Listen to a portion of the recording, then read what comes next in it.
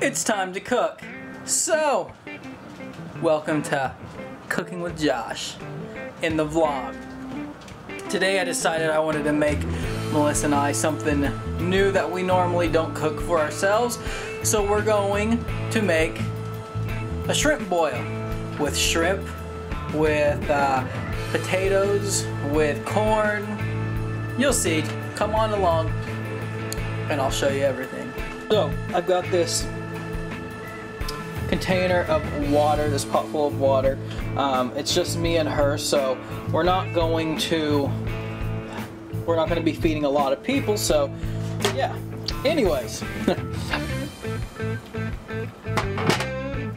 I've got these assorted mini uh, potatoes. You got some purple ones, some red potatoes, some normal whatever you call it, golden potatoes. So I already did wash these. Um, I kind of left them in here and yeah, cleaned them. So, let's get the potatoes thrown in here. Oh yeah, how, how many of you guys have actually seen purple potatoes? Next, got Zatarain's crawfish, shrimp, and crab boil. We want to dump this in that in there. Okay. There we go. A little ground pepper. I just like to add my own amount so I don't actually really um, measure it out. Let's add some Himalayan sea salt. Don't need too much. I don't have a fresh onion so I'm going to throw in some chopped onions. Oh yeah, look at that, that looks good. Let's do a little, we'll do a little bit of uh, lemon pepper because I don't have any lemons to put in there to wedge them up, so. Okay, we got lemon pepper. Next, Zatarain's cayenne pepper. Can't go wrong with that. It gives it a little bit of a kick. So this, you know, you want to put in an amount that you know will be good for you and whoever you're cooking for. Um, I can't add as much as I want, but that's fine. It'll still taste good. Now, we're to get this boiling. There we go. Let's leave that on a high and we'll give this a stir. We're about 45 minutes um, boiling the potatoes with the, the bag and everything. Next we're gonna add in some awesome corn on the cob. Normally I'd add, add in fresh, but we figured we need to use this, so. But normally fresh is a lot better way to go. Okay, let's add a couple more.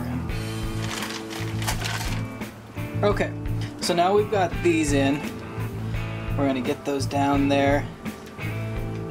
Get that back to boiling.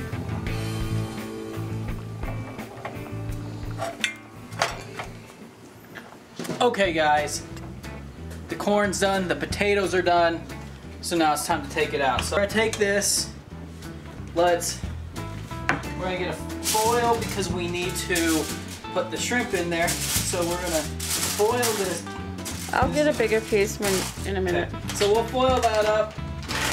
Right now we're gonna put these in there. Let's take this package and drop it in there. We're gonna go and let this get back to boiling and probably let it cook for about five minutes and we'll see if the shrimp is starting to turn yeah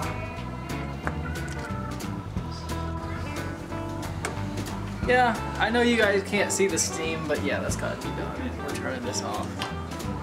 Cheers.